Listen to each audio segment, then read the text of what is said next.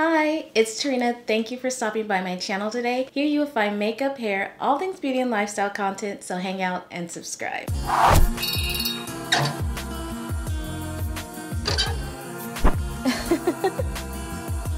Welcome to another episode of One Good Thing. I have my notes right here so I didn't forget for this week. Today, I'm gonna go over my one good thing. I hope you have yours too and make sure you write it down in the comments so that we can talk about it. I attend this meeting, it's about twice a month. It is called Iwakuni Ladies Tea. It's a gathering of different cultures and Japanese locals come. We just enjoy each other's company pretty much. We do crafts, we chat, we eat, we sip tea, coffee. If you don't like that, just bring some water or something like that. At Ladies Tea, we talked about New Year traditions. One of the ladies started talking about Japanese traditions, and I was just like, oh, it is so neat the type of things that Japanese have for New Year. The ones that really caught my attention and is my one good thing is traditions they have around food. There's all different types of food They have different meaning. The different food kind of brings you into that new year. I'll let you take a look briefly of some of the things that we discussed there. Why do we make a special food? Why? They usually busy, so New Year's Day, uh, three days, we don't necessary to make a food, prepare food for family. Oh, I like So that. why? so uh, we prepare uh, special food. So each food has a special meaning. Ayumi is preparing some soba noodles here. She's also cutting up some fish cake into a little rabbit, symbolizing the year of the rabbit. So cute. Or kawaii.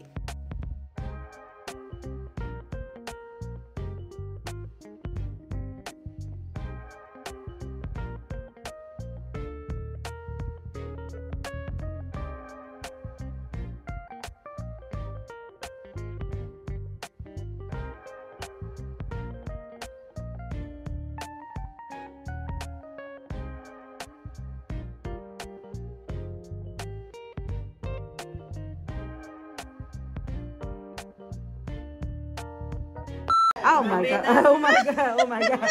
Oh my god!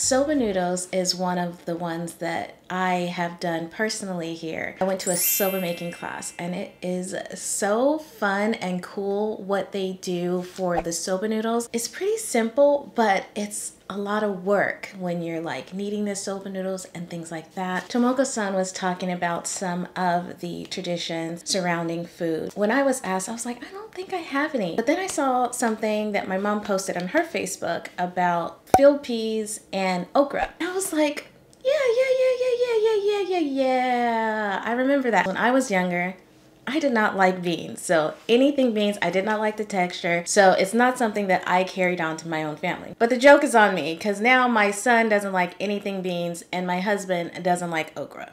So that's a tradition that we're not carrying on over here, which is so random because my son and my husband are not picky eaters. I guess if I would have eaten more peas and okra on New Year's and New Year's Day, then maybe I'll have a little bit more luck. I don't know. You be the judge. So I looked it up, and from what I gathered, when you eat peas and okra on New Year's, Eve or either New Year's Day, it symbolizes luck and prosperity. This has gone back to like the Civil War times when they had peas and okra because that's what they ate and they felt lucky to be able to have a meal. The other thing that I saw, the peas symbolizes coins and the green color in the food symbolizes money.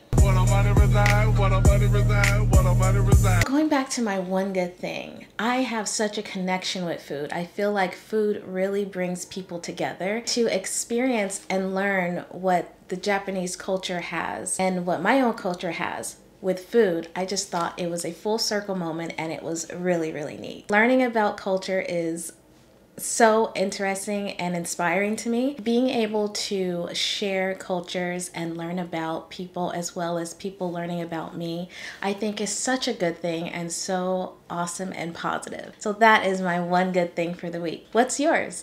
Do you have any kooky or neat or awesome traditions that you do for New Year or New Year's Eve? Write in the comment section and let me know what are your New Year traditions. Thank you so much for stopping by my channel today. I hope that you really enjoyed this video. Don't forget to let me know what your good thing of the week is. It can be something small, it can be something really big. I would love to hear it. Check me out on my other socials. It's Terreana or my website, it's terreana.com. Or you can check out the video before this or some of my others. Follow this series, One Good Thing. See you on the next one. Bye.